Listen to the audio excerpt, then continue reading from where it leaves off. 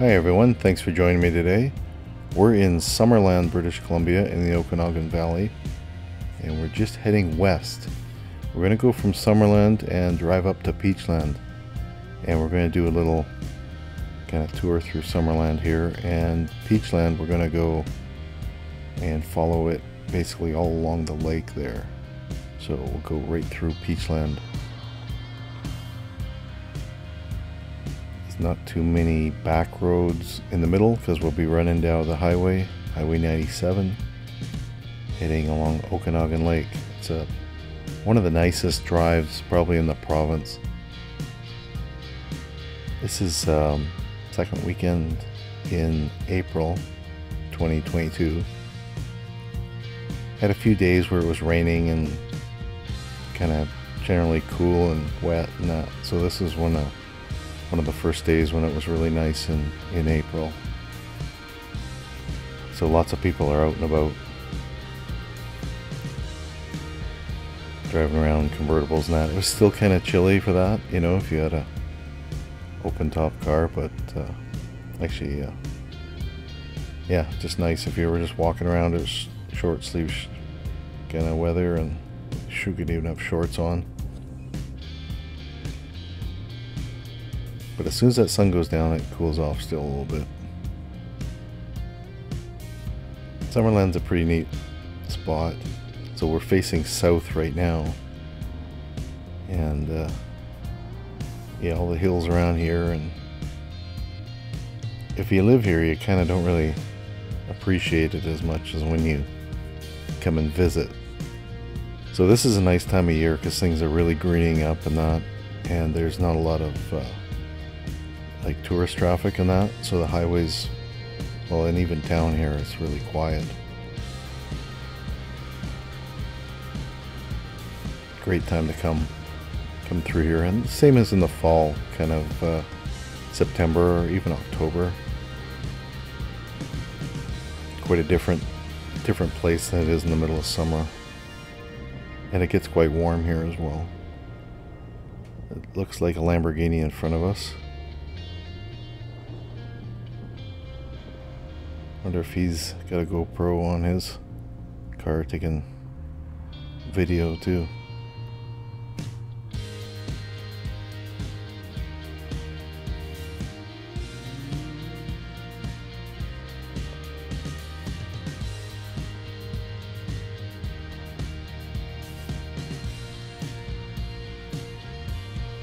A couple roundabouts like this in town.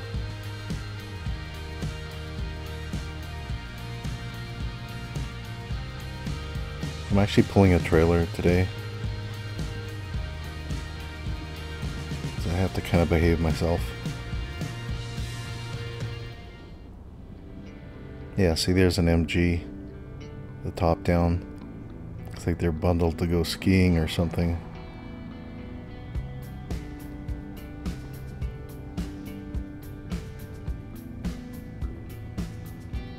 Probably the first drive of the year.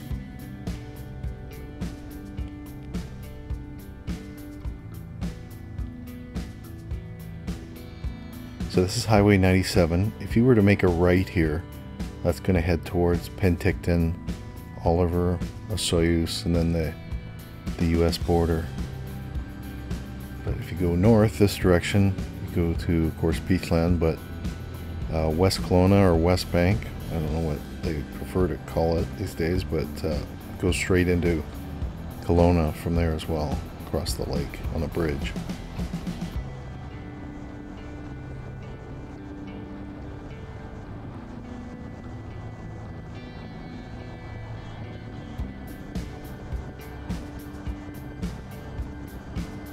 Lots of orchards and wineries and things like that in the area.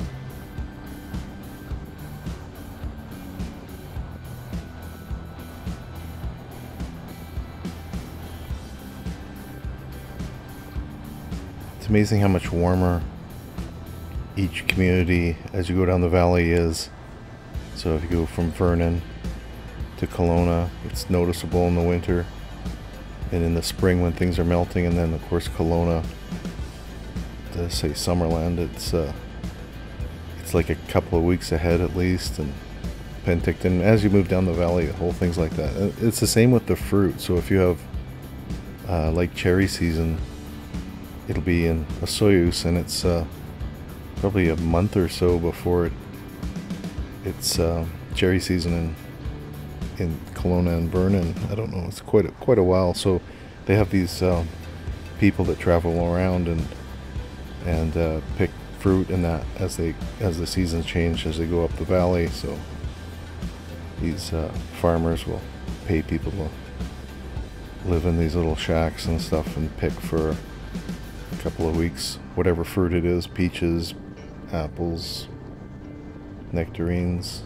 cherries one of the nicest things about the Okanagan is the the amount of fruit and produce that's you know better than you can get at a grocery store so that's Okanagan Lake on the right it's amazing views the whole way along this road. It's one of the, like I say, one of the nicest drives probably in the province.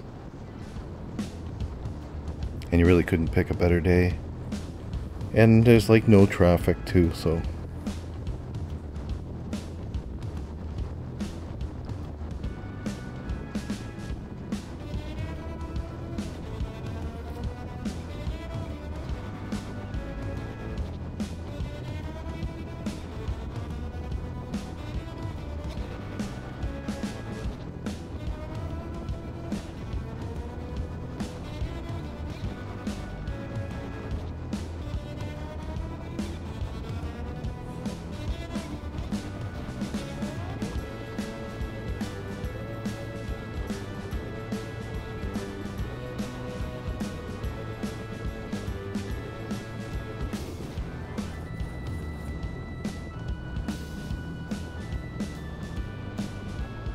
So there's numerous roadside fruit stands and that. And some of them are quite big uh, as you go down the valley.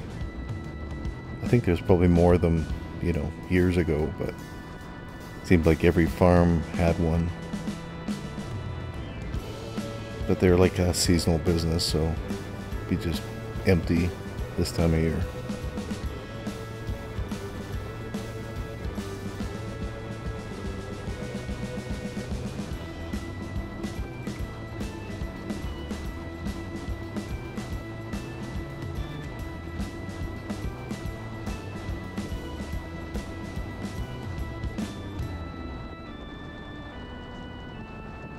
So between Summerland and Peachland, there's a uh, provincial campground right on the lake, and it's really popular. Like, um, I don't think you could probably get a spot there unless you're really lucky in the middle of summer, just driving through. Everything is reservations now and that, so uh, you gotta kind of be prepared and plan ahead. But it's a nice, really nice spot. And there might be a couple other campgrounds around too, I don't really know.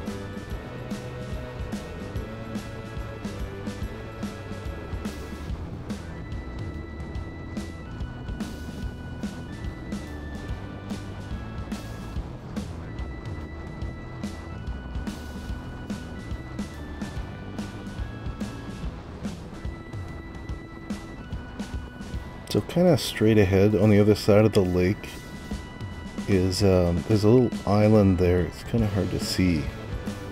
But I think, I forget the name of it. I think it's Rattlesnake Island. It seems like every island's named Rattlesnake Island on the o Okanagan Lake and that. But uh, I think it's Oak I think it's uh, Rattlesnake Island.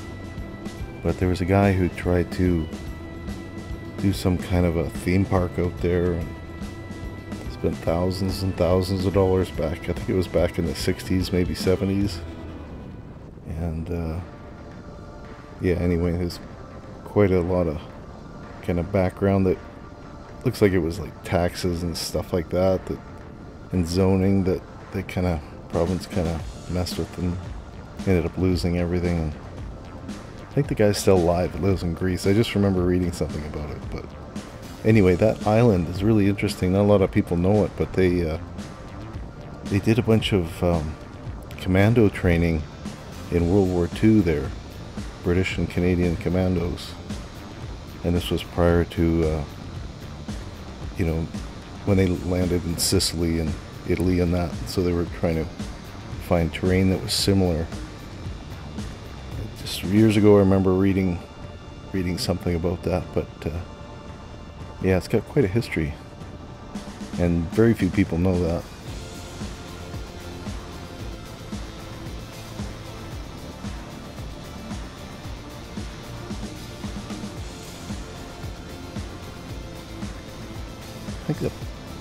Pass the park here? I think the park is somewhere around here, the campground.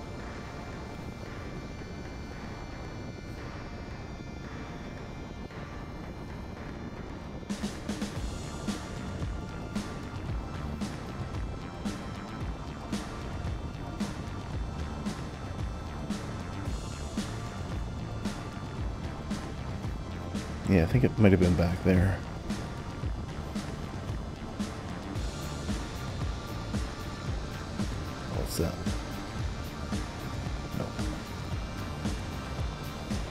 Couple wineries in that along here, right on the highway.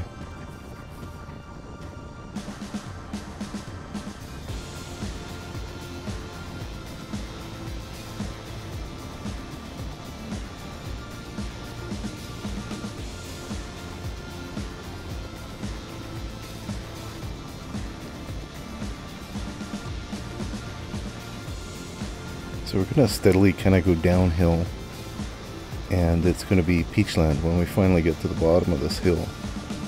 That's the start of Peachland. And there's, um, I think, some picnic tables and kind of a, maybe even a camping area on the right hand side, right on the water. Um, it's at least a day use thing. And it might be a couple of docks or something there, but yeah, we see people hanging around there.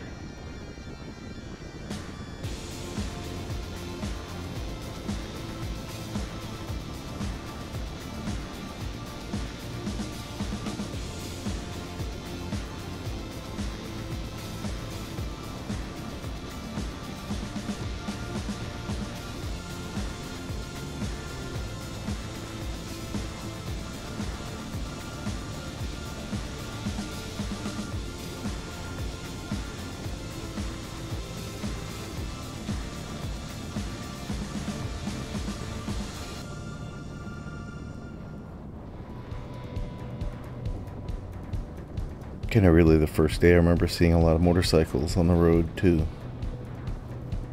A little bit of sunshine, you know. Everybody comes out. And it is Sunday. It's a Sunday today.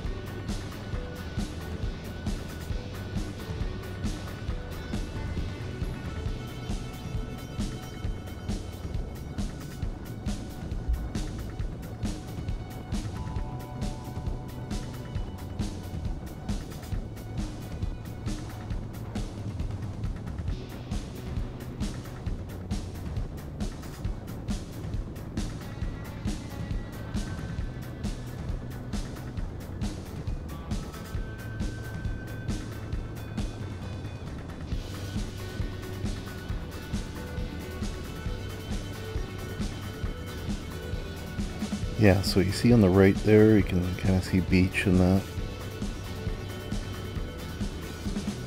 Yeah, you can pull right in here. It's a good place to stop. Sneaks up on you if you're not paying attention, so good to know it's coming. And there's the Peachland sign.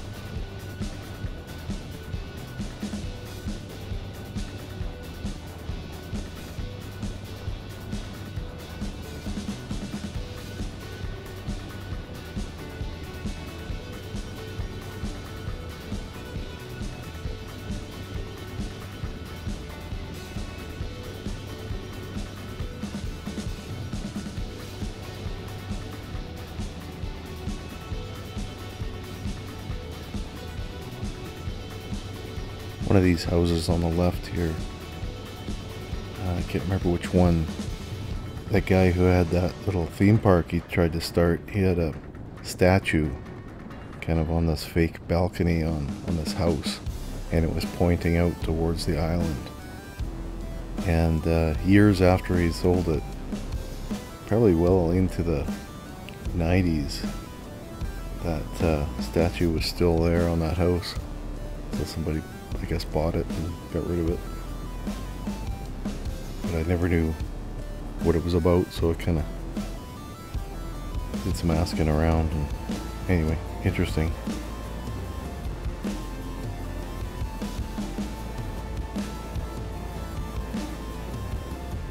Yeah, I think he was Greek. I think. I think he moved back to Greece.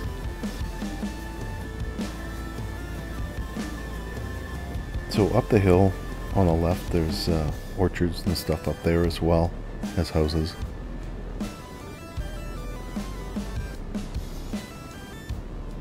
We're going to turn off the highway here a couple minutes and follow the lake along Beach Avenue. But uh, if you were to continue on going straight here, that's going to, of course, take you right to Kelowna. And we'll join up with it again at the end here. Uh, we'll just take a little detour. So if you carry on down there, there's, uh, I remember as a kid, there was this big golf ball sign thing for a golf course that's up the hill. And uh, when, when I drove down, I stayed on the highway the whole way, and and uh, they made that into a peach now. So instead of a golf ball, it's a a peach on a golf tee. Kind of funny. I bet a lot of people don't even know it used to be a golf ball. So there's lots of places to park along here. Uh, restaurants, uh, little shops, all kinds of stuff. This is a neat little spot. And in the summertime, I know they do at least one big car show here, so it's a great setting for for a car show. It's just they're all lined up all along the the lake here, and in a couple of little parking areas and grassy areas and that too. Peach City Cruise, maybe is that right? I don't remember. Anyway, it's a uh, it's a good one to go to. Couldn't pick a better atmosphere.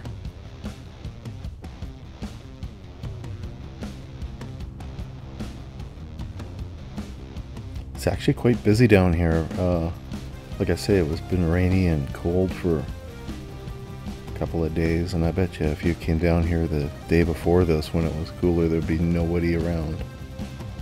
But there's a few people walking around.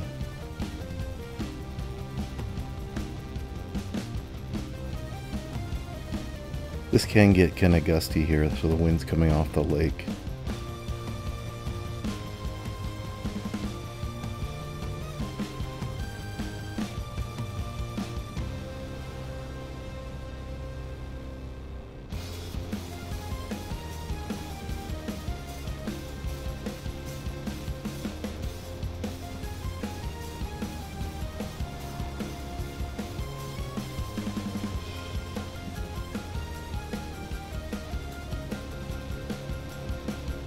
Going to follow this all the way along right to the end. Not many people realize how far this actually goes.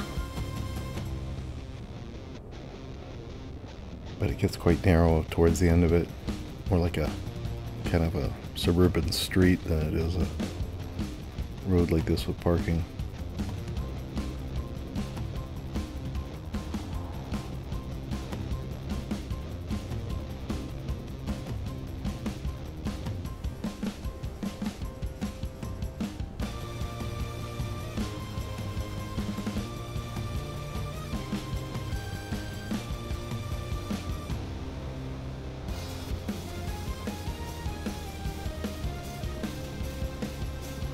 Yeah, so I don't know if this is pay parking along the road here or I don't see uh, I don't see any of those kiosk things where you have to put money in. but it would surprise me if it wasn't. It wasn't a pay parking, but there's uh, you can see benches and picnic tables all the way along here. So if you want to be away from the shops and that, where it's probably busier, keep driving and find a little spot down here.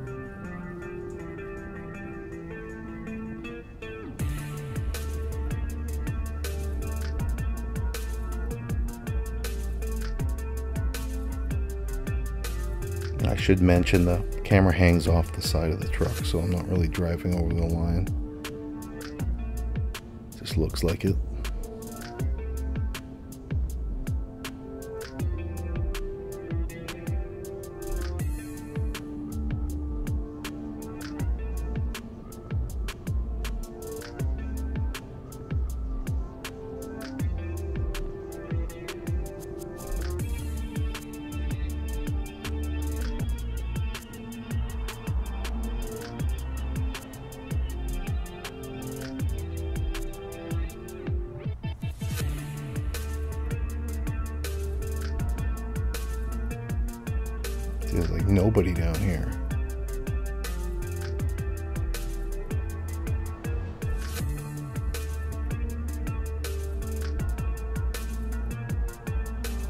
But if you had a little paddleboard or kayak or canoe or something, pretty easy just to carry it from your vehicle into the water and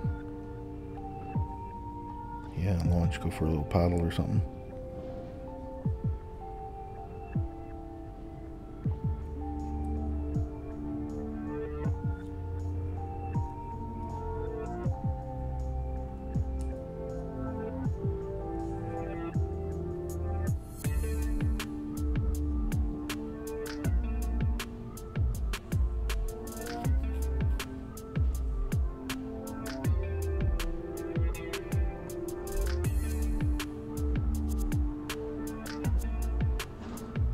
Just amazing how much beach, beach and access and everything along here there is. It's, uh, I don't know, but probably a lot of people, uh, you know, even just outside the Okanagan, they realize how big, big this, uh, this area is along here. Everybody's in such a hurry on the highway all the time. Probably don't even turn down here.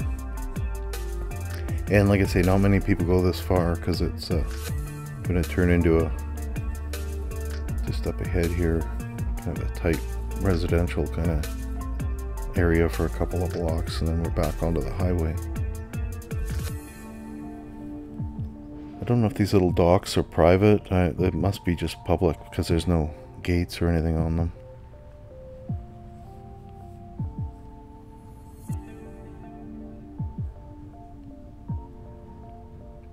Course, in the summertime, I'd be probably just crazy busy with ski boats and everything else. Jet skis, and I imagine they probably rent them here somewhere too. Would make sense.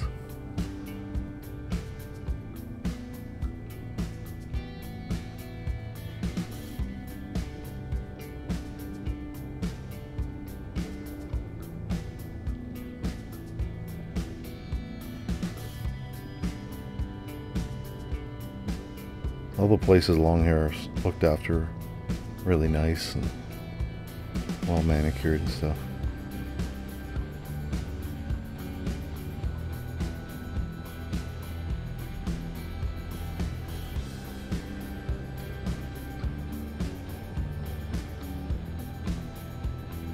even out here, you pull over here And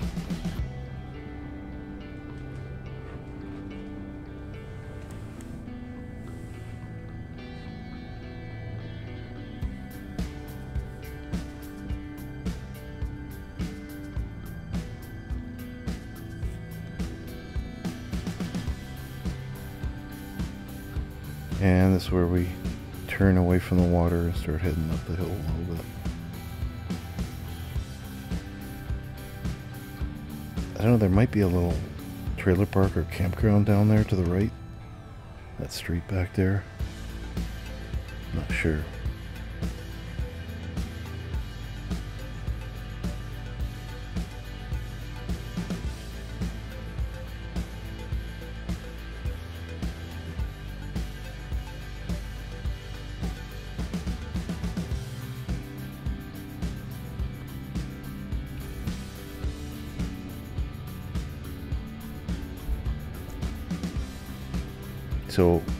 Up at the mountain there, I see that light colored line that goes along there. That's the the connector, the Okanagan uh, connector that goes between, well, I guess, Peachland, I guess. Uh, maybe it's West Kelowna officially, and Merritt, and eventually down to Vancouver, Lower Mainland.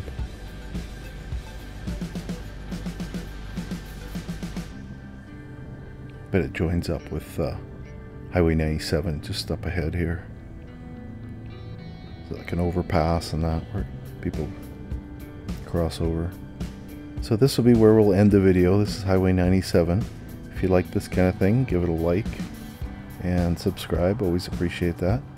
But other than that, I'll catch you on the next one. Thanks for watching.